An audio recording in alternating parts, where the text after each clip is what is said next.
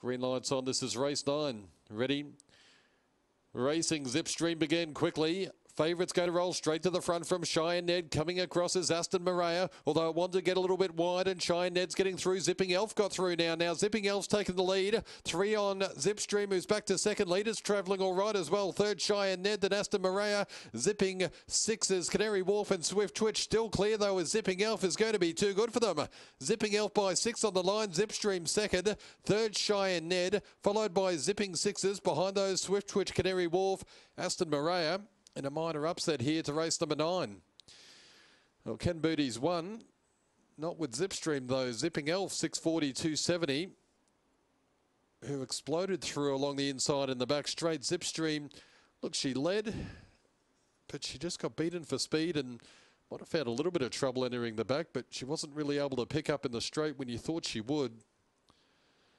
And uh, Zipping Elf, highly impressive, 23 and 90 we've spoken, it's probably a good half a second off today, this track. So I reckon that's around a 23-4 run on top of the ground.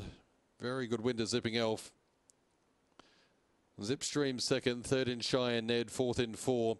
Zipping sixes, two, three, one and four. After the running of race number nine in 23.90.